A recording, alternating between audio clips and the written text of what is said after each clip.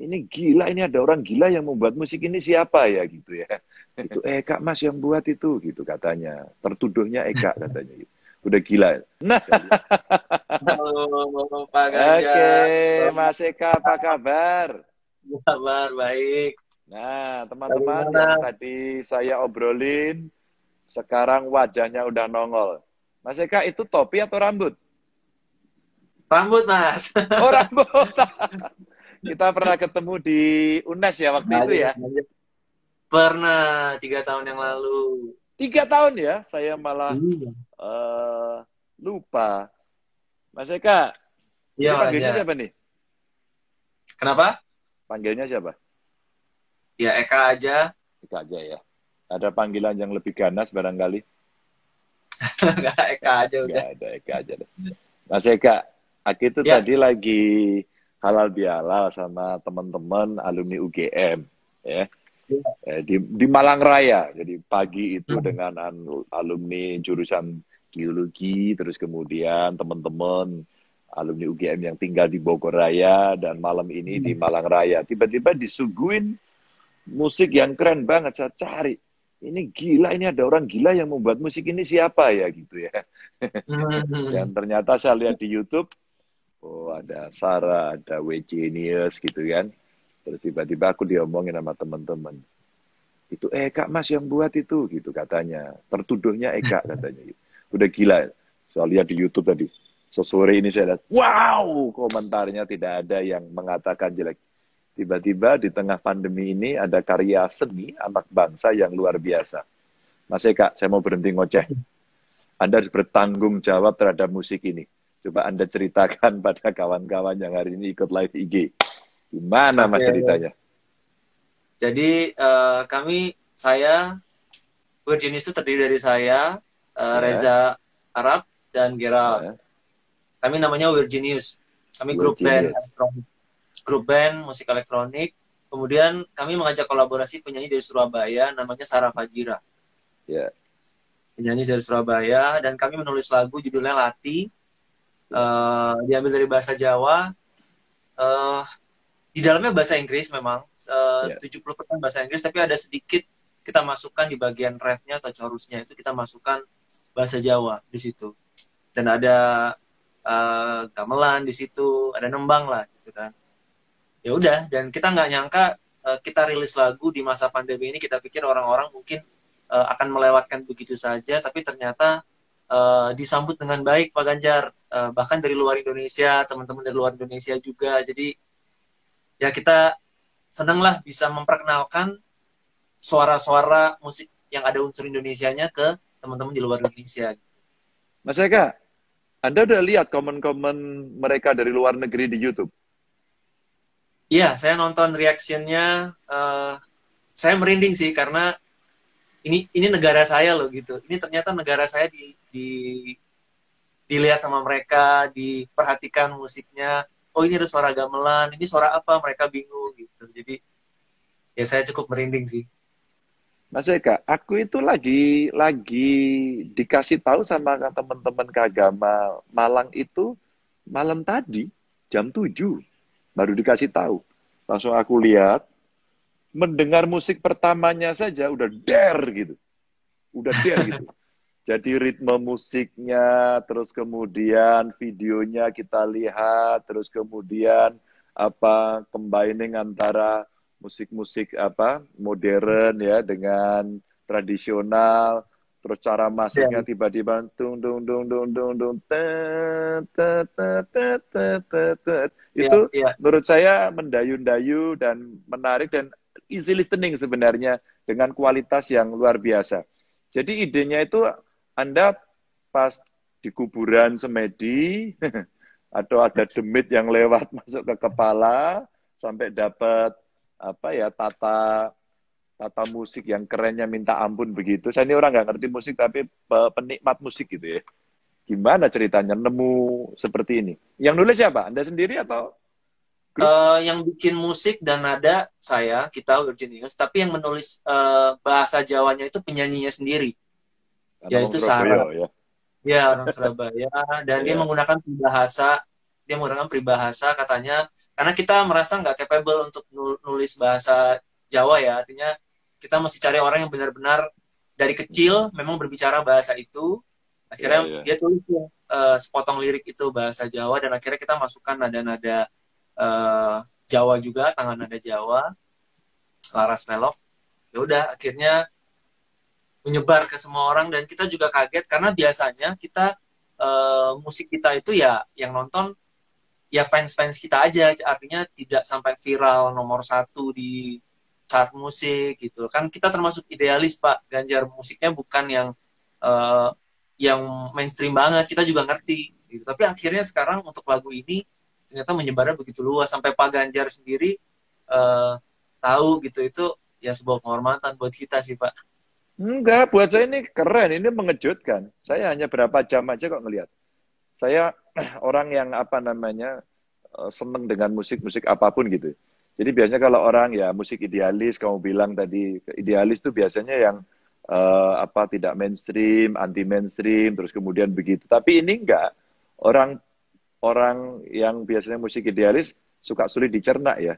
Tapi ini enggak tampil pertama terus kemudian apa lagunya, terus kemudian mereka yang menari, terus apa temanya itu asik gitu, penuh. Jadi kalau gelas itu penuh betul, gelas itu penuh. Sebenarnya ketika kamu milih artisnya si Sarah ini, itu ada nggak satu background karena suaranya, karena ngerapnya, atau karena jawanya tadi, itu kok nemunya pas dengan karakternya. Itu semua yang mereka punya reaction itu ya, yang tadi saya lihat di YouTube orang-orang dari Australia, Amerika, Eropa, itu mereka bicara wow gitu, langsung digem wow gitu. Jadi artinya ada sebuah apa lompatan emosi yang dikeluarkan. Hmm, Ini hmm, kan hmm, kamu nyarinya di mana itu? Sampai ketemu Sarah. Uh, saya kenal Sarah, kenal Sarah itu tahun 2018 inget gak saya pernah bilang sama Pak Ganjar saya sempat sempat chatting waktu itu. Udah lama banget. Pak yeah, yeah. saya mau bikin musik keliling Jawa waktu itu. Yeah, yeah. terus sempat mau ketemu cuma nggak jadi. Sempat mau ketemu Pak Ganjar main-main yeah, yeah. ke kantor cuma nggak jadi. Nah di situ saya berkeliling Jawa Pak. Saya tuh nyari uh, talent-talent musik musisi lokal yang berkualitas.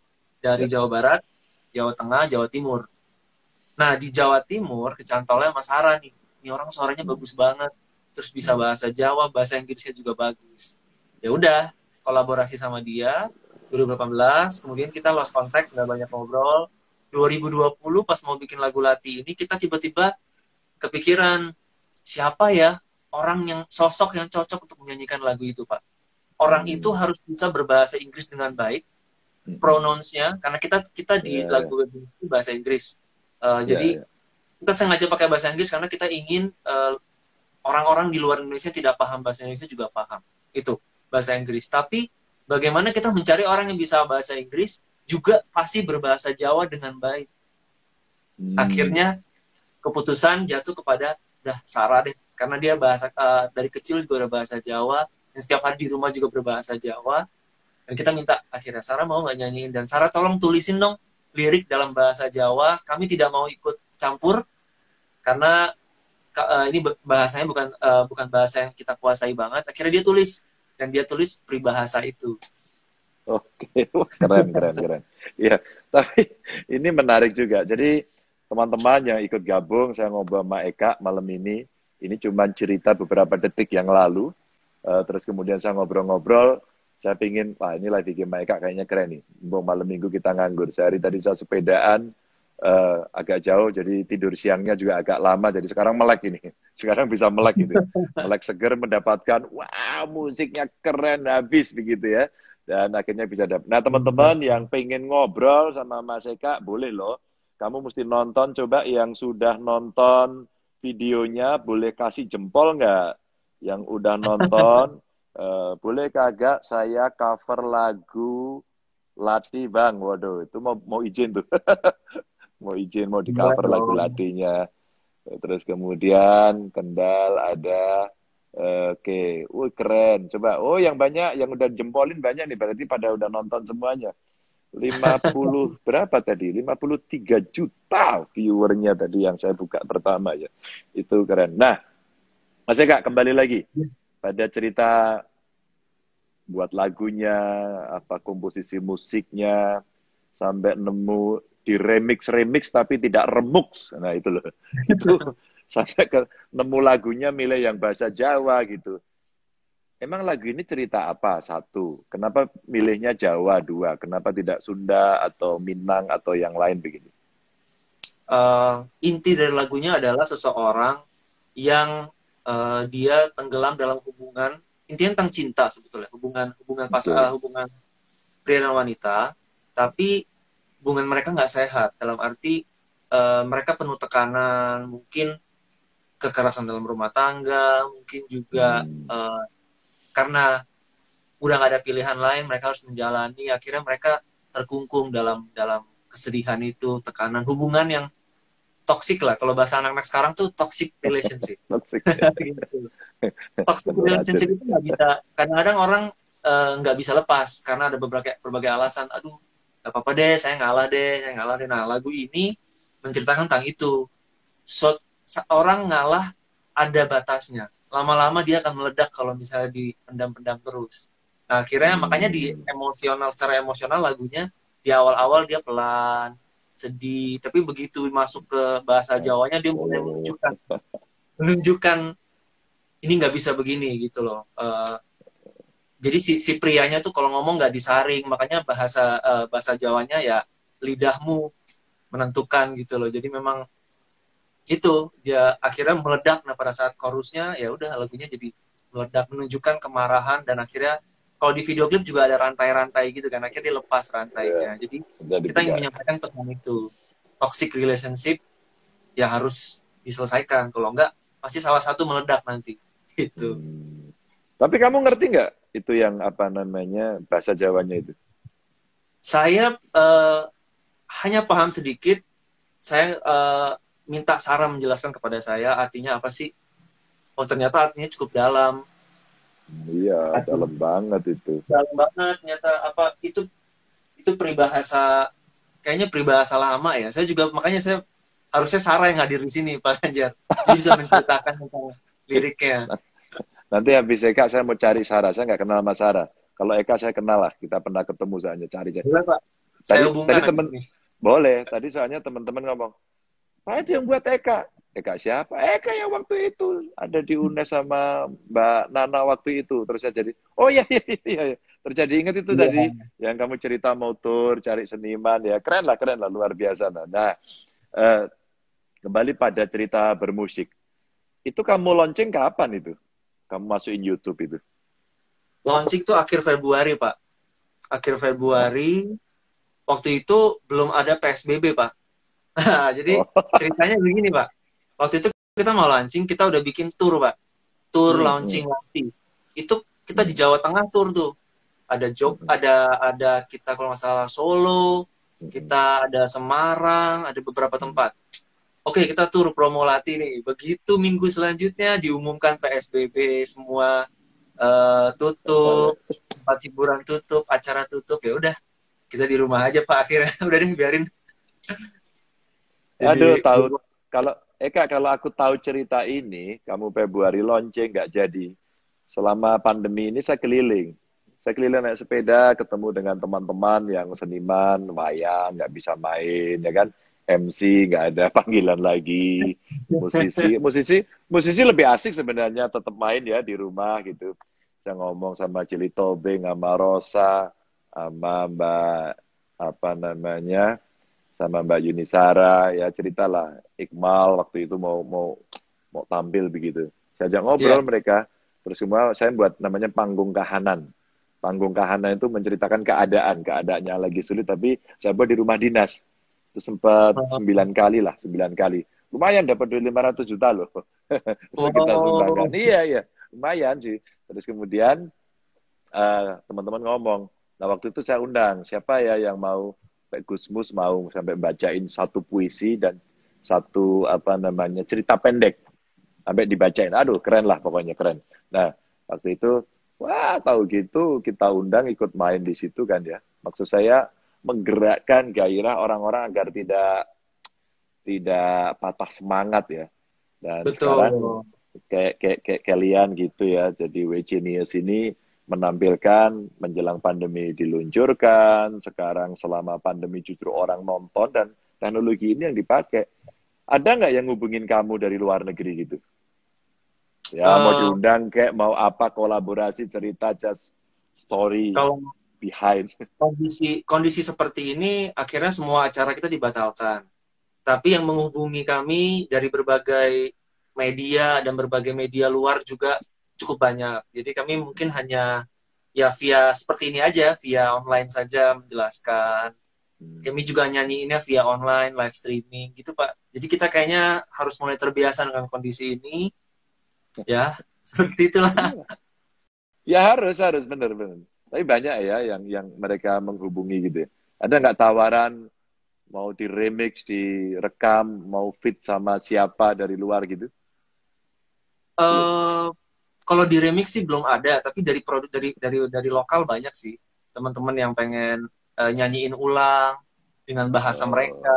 Karena kan oh, iya. kita paham uh, Indonesia kan bukan hanya Pulau Jawa. Jadi kita justru saya sama menyarankan teman-teman uh, kalau kamu bisa bikin bahasa lain, silakan bikin minta minta sama saya musiknya karena kita ingin justru lagu ini bisa mempersatukan teman-teman di seluruh Indonesia. Weh, keren keren keren.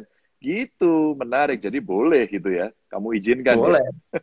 boleh ya. banget, Pak. Sama sebenarnya aku mau tunjukin kaosku. Aku mau tunjukin kaosku. Nah. Apa tuh? ya kebaca nggak ya? Bersama lawan corona. Ya, kaos ini awalnya juga saya bikin sama anak-anak yang mereka bimbang, yang mereka sulit, yang mereka uh, apa namanya menjadi nervous karena kondisi. Dan tiba-tiba baru saya pakai sekali di TV, besoknya semua orang pada memproduksi sendiri. Terus saya diomongin, Pak, kaosnya diproduksi orang. Nggak apa-apa, kasih rezeki orang aja. Saya cuma kampanye, kemudian didesain sama anak-anak kreatif itu jadi jadi lagu. Lumayan juga, tapi keuntungannya oh, disisihkan, disisihkan gitu. Bapak nggak mempermasalahkan ketika ada orang yang buat terus dia jual. Nggak apa-apa. Kalau kalau saya kan saya kan bukan profesional di situ. Saya cuma kolektor kaos oblong seluruh dunia dan saya suka oh. banget sama kaos oblong. Jadi waktu kita desain-desain gitu tak kasihin. Pak ini gimana Pak? Ini udah pada dijual di Tokopedia juga nggak apa-apa oh, gitu. biar aja kasih rezeki orang gitu kan. Nah, wow, ternyata teman-teman di Hong Kong, di Australia, di Belanda ada ada satu kaos yang desainnya bagus, gambarnya uh, tulisannya nyedak keplak. Tahu artinya nggak? Apa tuh Pak? nyedak keplak kalau mendekat dipukul. Ini physical distancing sebenarnya. oh, okay, Dan okay, itu okay. ternyata laku. Lumayan. Dapat hampir berapa ya? 200 jutaan. 200 jutaan kita dapat dari situ dari keuntungan yang kita sisihkan. Jadi sebenarnya proses-proses kreatif anak-anak kayak kayak kamu kayak kalian ini wih keren bener ya. Jadi di tengahin seperti ini masih ada yang luar biasa. Nah, tapi kan itu launchingnya Februari ya. Itu buatnya yeah. kapan emang?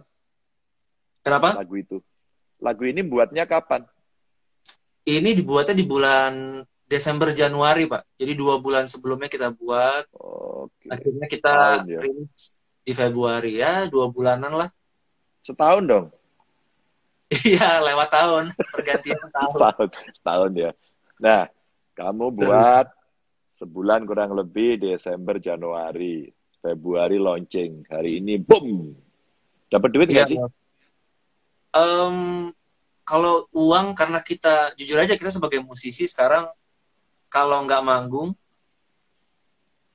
dari mana kita dapat uang gitu. Uh, semua musisi meng meng mengalami hal yang sama.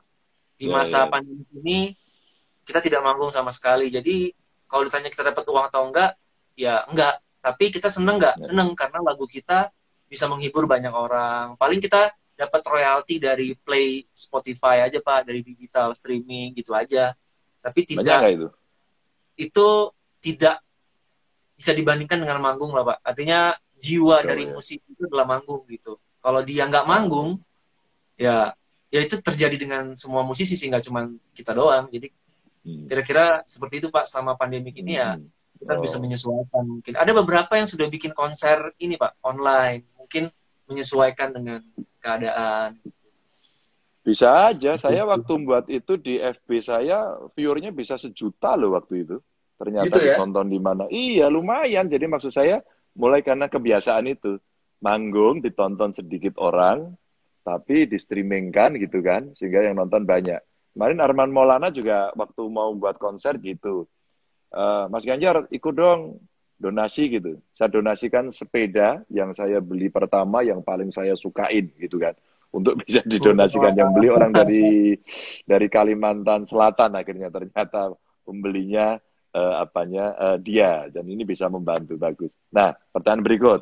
Desember dibuat, Februari di launching, terus kemudian uh, boom orang semuanya melihat. Ah, keren, nggak ada yang nggak ada yang bilang jelek kecuali dia lagi sakit ya. ada aja sekarang, haters, nah, sekarang, haters selalu ada. Haters selalu ada. Haters maha benar ya. Oke. Okay. Nah, terus kalian selama ini apa namanya Reginius ini ngapain? Buat lagu terus atau mengurung diri sambil agak gimana gitu?